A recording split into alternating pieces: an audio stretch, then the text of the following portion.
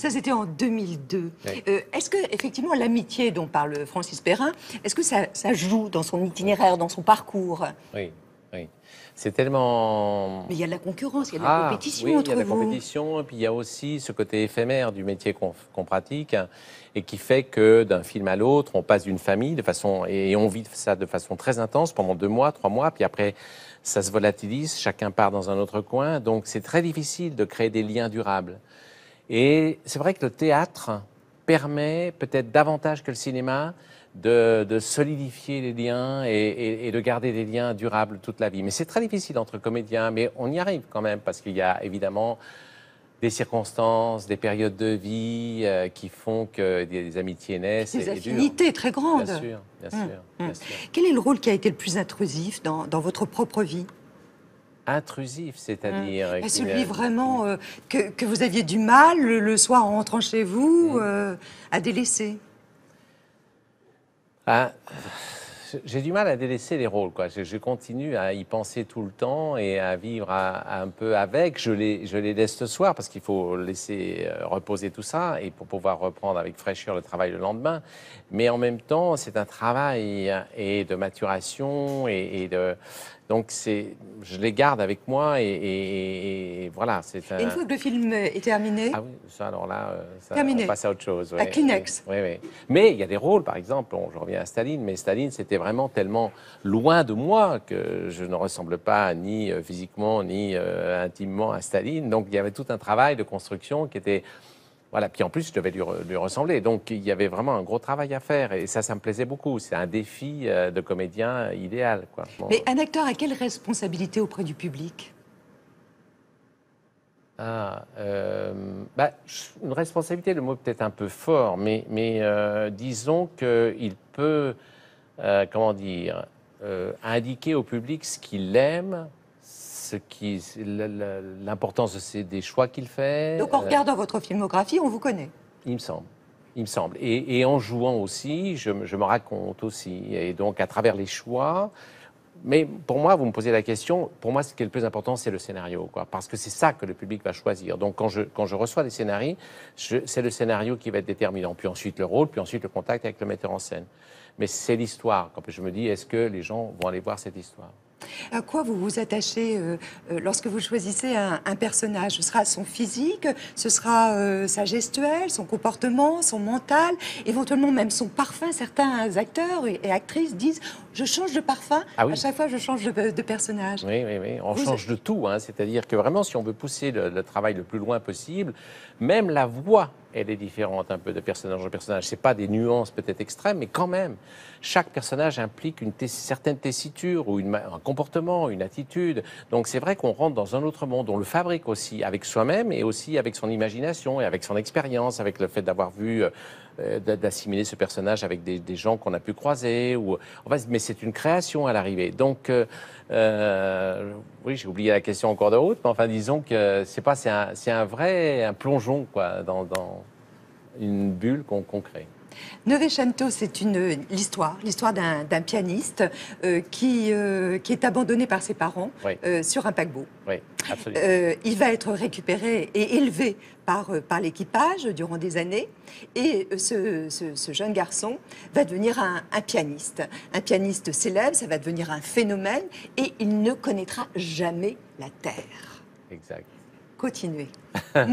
Bah oui, c'est- comme une fable, c'est comme un conte de Baricot qui touche beaucoup les jeunes générations d'ailleurs. Et je le comprends très bien parce que, en fait, sur cette terre, quand on y arrive, euh, il faut trouver sa place. Et, à force de vouloir trouver sa place, peut-être qu'on se perd soi-même profondément. Et, on voit bien que dans la vie de chacun, c'est plutôt vers la, euh, au fil de la vie que on, ah on peut le faire dès le départ, mais c'est toujours assez courageux de vouloir faire absolument ce qu'on a envie de faire et de s'y tenir.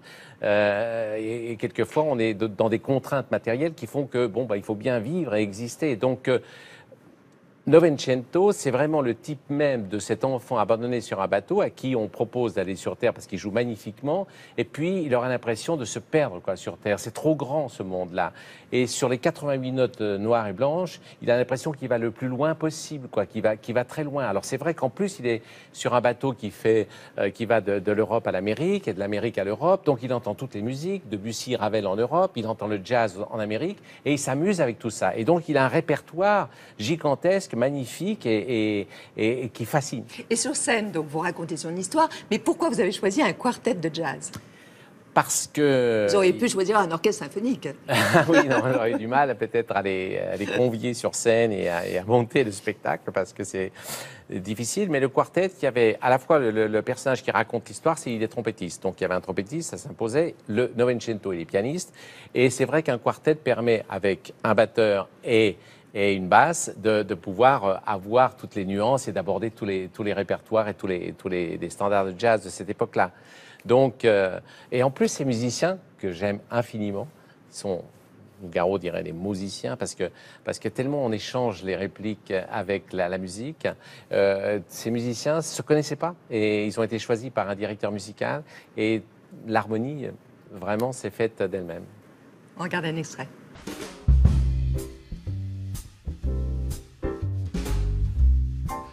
On jouait trois, quatre fois par jour. Pour les premières classes d'abord. Ensuite, euh, pour les secondes. Et le soir, quelquefois, on descendait tout en bas, sur le pont des troisièmes. On jouait comme ça, comme ça nous venait, pour le plaisir, sans uniforme.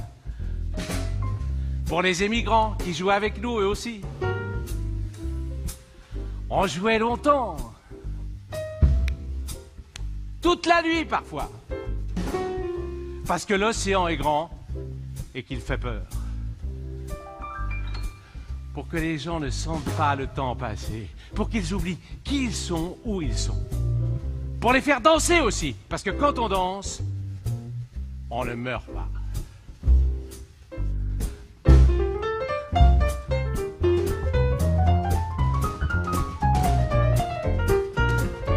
On jouait du ragtime. Parce que Dieu, quand il danse, c'est la musique qu'il préfère. Parce que c'est sur cette musique que Dieu danse quand il est seul et que personne ne le regarde.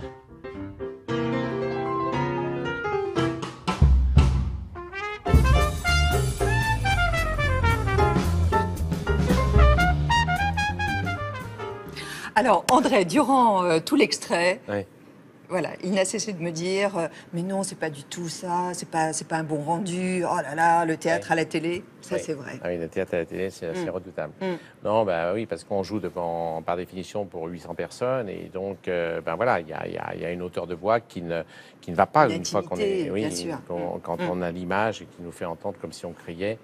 C'est vrai que le théâtre, quelquefois, c'est bien parce qu'on peut le voir, c'est un témoignage de la pièce qu'on n'a pas vue, mais le théâtre à la télé, ouf. Être seul en scène, sans partenaire, euh, c'est vertigineux?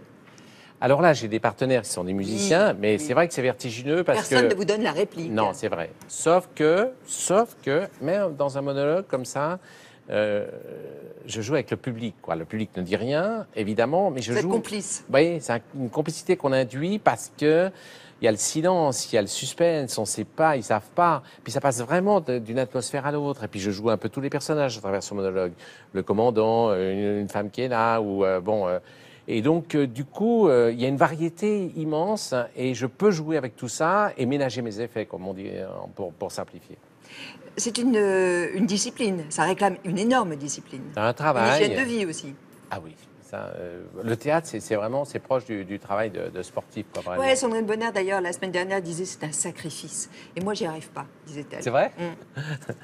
Oh, quand, on est, quand on y goûte, euh, c'est difficile de s'en passer après parce que euh, quand euh, on est là à vivre les choses en direct avec le public et à partager les émotions et, et ce qu'on dit et ce qu'on ressent, oui, c'est extraordinaire parce que le cinéma, c'est un peu en différé, c'est bien, c'est un autre plaisir, mais le théâtre, c'est là là, c'est assez vertigineux parce que c'est très fragile, c'est- l'instant. Donc à chaque représentation, on peut être différent. Dans vos choix artistiques,